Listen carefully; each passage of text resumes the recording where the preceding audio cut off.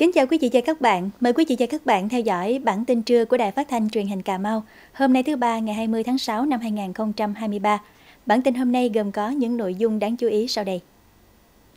Nhằm chuẩn bị cho kỳ họp thứ 10 Hội đồng Nhân dân tỉnh Cà Mau khóa 10, nhiệm kỳ 2021-2026, sáng nay nhiều tổ đại biểu Hội đồng Nhân dân tỉnh tiếp xúc cử tri trong tỉnh để thông tin đến cử tri dự kiến chương trình kỳ họp sẽ diễn ra từ ngày 5 đến ngày 7 tháng 7 tới đây và ghi nhận ý kiến cử tri trước kỳ họp, có giải pháp phòng chống sạt lở, đầu tư hạ tầng giao thông và khắc phục tình trạng giá tôm giảm mạnh là những vấn đề được nhiều cử tri quan tâm. Trong buổi tiếp xúc cử tri xã Hàm Rồng, huyện Nam Căn, tổ đại biểu Hội đồng dân tỉnh có ủy viên Ban Thường vụ, trưởng ban tổ chức tỉnh ủy Quỳnh Thị Thanh Loan được nghe cử tri phản ánh tình trạng lộ giao thông bị ngập trong mùa mưa, gây mất an toàn giao thông. Giá tôm nguyên liệu sụt giảm mạnh gây ảnh hưởng đến sản xuất cuộc sống của người dân. Tình trạng nuôi tôm siêu thâm canh xả thải thẳng ra môi trường bên ngoài vẫn diễn ra, cần xử lý nghiêm. Cử tri mong muốn được thông tin về việc hỗ trợ thiệt hại khi cua nuôi chết hàng loạt trong những năm gần đây. Tổ đại biểu Hội đồng Nhân dân tỉnh, trong đó có ủy viên Ban Thường vụ, trưởng ban tuyên giáo tỉnh ủy Hồ Trung Diệt, tiếp xúc với 70 cử tri xã Đất Mũi, huyện Ngọc Hiển. Trong buổi tiếp xúc, cử tri xã Đất Mũi quan tâm phản ánh tình trạng sạt lở đất, tình trạng một số tuyến lộ nông thôn xây dựng đã lâu bị xuống cấp, thường xuyên bị ngập, ô nhiễm môi trường khi nước dâng. Cử tri kiến nghị ngành chức năng quan tâm xây dựng kè chắn sóng tại khu vực Giàm Xoáy, xã Đất Mũi, Đối với sản xuất, cử tri phản ánh việc xả thải của các trại sản xuất giống gây ảnh hưởng đến môi trường nước phục vụ sản xuất. Ngành chức năng cần quan tâm hỗ trợ chuyên môn kỹ thuật để người dân an tâm sản xuất. Nhiều kiến nghị của bà con được ngành chức năng, đại biểu Hội đồng Nhân dân tỉnh giải trình thỏa đáng. Những vấn đề vượt thẩm quyền được ghi nhận để thông tin đến các cấp thẩm quyền. Tổ đại biểu Hội đồng dân tỉnh có buổi tiếp xúc cử tri tại xã Thanh Tùng, huyện Đầm Dơi, Phó Chủ tịch Ủy ban nhân dân tỉnh Nguyễn Minh Luân tham gia buổi tiếp xúc cử tri. Cử tri phản ánh tuyến lộ giao thông từ xã Thanh Tùng đến huyện Đầm Dơi xuống cấp nghiêm trọng, dù đang được nâng cấp sửa chữa, tuy nhiên tiến độ thi công công trình còn rất chậm. Tình hình sử dụng điện chưa hạ thế trong nuôi tôm công nghiệp ảnh hưởng đến bà con quanh khu vực. An ninh trật tự trên địa bàn còn diễn biến phức tạp. Một số cây cầu trên địa bàn xã được xây dựng từ nguồn xã hội hóa, được đưa vào sử dụng một thời gian ngắn thì bị hư hỏng, giá tôm sụt giảm mạnh, trong khi chi phí đầu vào phục vụ sản xuất cao, ảnh hưởng đến thu nhập của người dân. Ngoài ra, cử tri cũng kiến nghị ngành chức năng đầu tư hệ thống bờ kè kiên cố vì tình hình sạt lở trên địa bàn xã Thanh Tùng đang diễn biến phức tạp, ảnh hưởng đến tính mạng và tài sản của người dân, cần nâng cấp một số tuyến lộ bị ngập do ảnh hưởng của triều cường.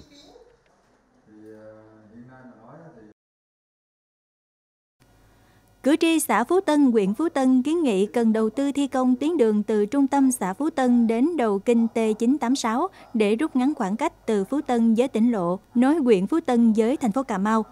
Kiến nghị đầu tư tuyến lộ kinh ngang, kinh đứng, kinh lung nhiên hiện chưa thông thương. Kiến nghị đầu tư nâng cấp đường dĩa hè, mương thoát nước khu dân cư Mỹ Bình – Cử tri còn phản ánh những khó khăn khi vận động đóng góp theo tỷ lệ 73 với lộ 1,5m và tỷ lệ 82 với lộ trên 1,5m đối với những tuyến đường đầu tư xây dựng theo phương châm nhà nước và nhân dân cùng làm. Ngoài kiến nghị liên quan đến có đầu tư kết cấu hạ tầng giao thông, cử tri còn kiến nghị nạo vét kinh Tân Điền phục vụ nuôi trồng thủy sản, kiến nghị xem xét hỗ trợ kinh phí hoạt động đối với một số chức danh không chuyên trách ở các ấp, kiến nghị có giải pháp nâng giá tôm nuôi đảm bảo lợi nhuận cho người nuôi. Sáng nay, trường chính trị tỉnh Cà Mau tổ chức khai giảng lớp hướng dẫn chuyên môn bồi dưỡng tập huấn cho giảng viên trung tâm chính trị và báo cáo viên cấp quyện khóa 3 năm 2023. Hơn 40 học viên tham gia lớp tập huấn. Trong 3 ngày, các học viên được tập huấn 8 chuyên đề về kỹ năng phương pháp giảng dạy lý luận chính trị, đáp ứng yêu cầu của tình hình mới, chủ nghĩa Mark Lenin tư tưởng Hồ Chí Minh, nền tảng tư tưởng kim chỉ nam cho hành động của đảng và cách mạng Việt Nam, phát huy sức mạnh đại đoàn kết toàn dân tộc, dân chủ xã hội chủ nghĩa, xây dựng và hoàn thiện nhà nước pháp quyền xã hội chủ nghĩa. Qua đó, trang bị cho đội ngũ giảng viên lý luận chính trị và cán bộ làm công tác tuyên giáo những kiến thức kỹ năng nghiệp vụ công tác, thông tin tuyên truyền, giảng dạy lý luận chính trị nhằm đáp ứng yêu cầu nhiệm vụ công tác tư tưởng của đảng trong tình hình mới và điều kiện cụ thể của cơ quan, đơn vị. Cũng trong sáng nay, Đại hội đại biểu Hội sinh viên Việt Nam tỉnh Cà Mau lần thứ nhất nhiệm kỳ 2023-2028 diễn ra phiên làm việc thứ nhất với sự tham gia của 198 đại biểu là sinh viên ưu tú, đại diện cho hơn 3.200 sinh viên đang học tập tại các trường cao đẳng đại học trên địa bàn tỉnh Cà Mau. Trong phiên làm việc thứ nhất, đại hội đã tiến hành nhiều nội dung, trong đó có thông qua dự thảo điều lệ hội, hiệp thương bầu ban chấp hành, ban kiểm tra Hội sinh viên Việt Nam tỉnh Cà Mau lần thứ nhất, nhiệm kỳ 2023-2028. Hội nghị lần thứ nhất ban chấp hành bầu ra các chức danh chủ chốt, Hiện nay trên địa bàn tỉnh Cà Mau có 4 trường đại học cao đẳng có 3.268 sinh viên chính quy, trong đó có hai trường đã tổ chức hội sinh viên là trường Đại học Bình Dương phân hiệu Cà Mau và trường Cao đẳng Cộng đồng Cà Mau. Chiều nay đại hội sẽ diễn ra phiên chính thức. Sáng nay, Sở Lao động Thương binh và Xã hội phối hợp với Trung tâm Đào tạo Bồi dưỡng cán bộ công chức lao động xã hội thuộc Trường Đại học Lao động xã hội, Bộ Lao động Thương binh và Xã hội tổ chức lớp bồi dưỡng nghiệp vụ về công tác giảm nghèo cho hơn 100 cán bộ công chức lao động thương binh xã hội của các xã phường thị trấn trên địa bàn tỉnh. Theo đó, Sở Lao động Thương binh và Xã hội tỉnh Cà Mau lựa chọn 4 chuyên đề tập huấn gồm chuẩn nghèo đa chiều, quy trình ra soát hộ nghèo, hộ cận nghèo giai đoạn 2021-2025, hướng dẫn một số nội dung giám sát, đánh giá thực hiện chương trình mục tiêu quốc gia giảm nghèo bền vững giai đoạn 2021-2025 tại cộng đồng.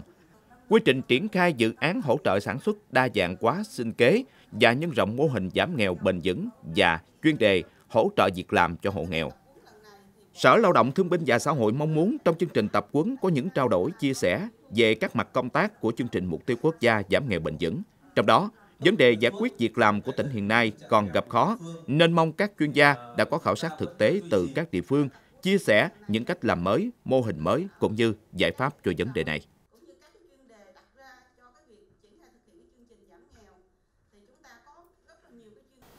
Hiện nay, nhiều doanh nghiệp trên địa bàn tỉnh Cà Mau thiếu đơn hàng nên phải giảm giờ làm để duy trì hoạt động sản xuất kinh doanh. Kéo theo đó là việc làm đời sống của người lao động cũng bị ảnh hưởng.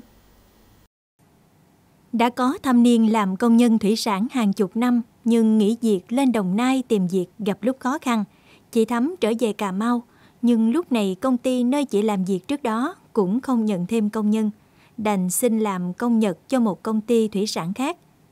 Do thiếu đơn hàng, công việc ngày có ngày không, chị Thắm buộc phải rút bảo hiểm xã hội một lần để trang trải cuộc sống hiện tại. Trước thì làm bên Minh Phú phường 8 tháng cũng gần có chục triệu tự nhiên cái buồn chuyến đơn cái việc đi Đồng Nai làm làm không nổi giờ giờ mới làm ở dưới đây làm chung cũng khổ lắm mình thấy ờ, cuộc sống mình nó hơi eo hẹp một chút tại vì làm nhiều khi một tháng ở một ngày cũng có nhiêu trăm mấy hai trăm rồi ít tôm về sớm kiên trăm ngàn có chừng cái vài chục ngàn có chừng nói chung là nhiều cái tôm á nhiều thì mình có tiền nhiều ít thì có ít nói chung là gì ở đây em làm thời vụ mà bạn làm thời vụ thiếu việc làm khiến thu nhập của công nhân giảm sâu, trong khi chi phí sinh hoạt và thuê trọ lại tăng khiến nhiều công nhân gặp rất nhiều khó khăn.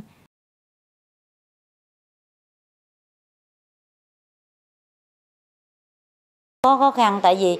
nếu mà công nhân ờ,